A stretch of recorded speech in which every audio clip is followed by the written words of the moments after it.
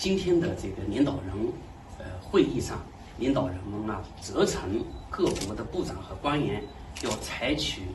措施，尽快完成各国的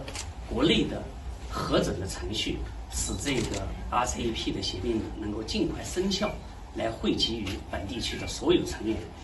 那么根据 RCEP 这个协定的规定，这个协议的生效呢，需要九个国家完成批准之后，就能够立即生效。那么这九个国家呢，有一个这个结构的要求，就是东盟成员国十个成员国里面，至少要有六个成员国批准，然后还要加上这个中日韩、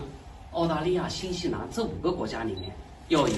三个成员。要批准中国方面呢，我们也会呃